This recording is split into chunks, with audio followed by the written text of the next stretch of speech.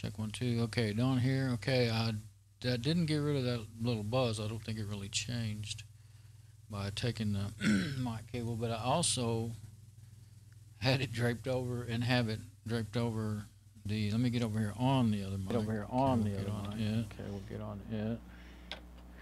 Now we should be just on camera two on uh, audio from cam two as well.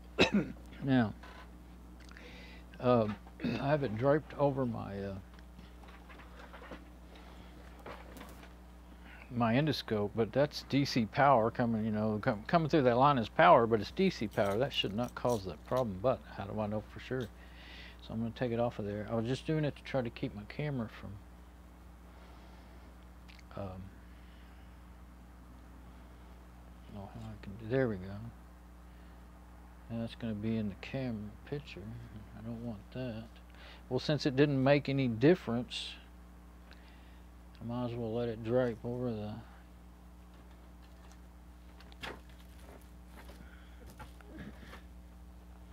Let it go ahead and drape over the uh, the other way. Go around the other side and away from that.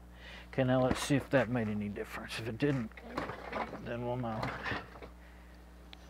Pretty pretty bad like I had it to start with.